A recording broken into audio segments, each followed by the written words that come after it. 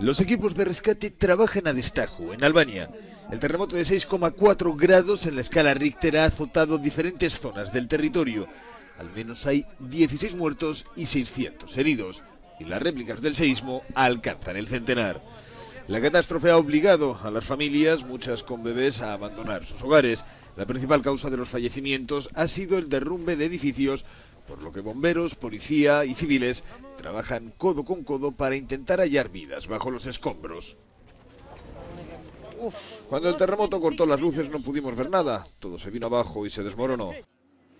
Las localidades más afectadas por el peor seísmo en el país desde 1979 son Durres y Tumana, próximas a la capital y donde se han registrado más de una decena del total de víctimas mortales. En ambos enclaves, Protección Civil ha levantado carpas para acoger a los damnificados y en los hospitales la actividad es intensa.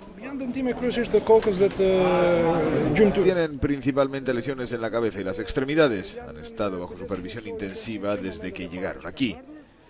Otros tenían lesiones más leves. Todos han recibido el tratamiento necesario y han abandonado el hospital. La ayuda internacional no se ha hecho esperar. Hay equipos de Kosovo, Montenegro y Grecia sobre el terreno y helicópteros militares de Italia. Se prevé también la llegada de personal de Turquía, Francia, Serbia, Rumanía y Croacia para ayudar a minimizar los daños.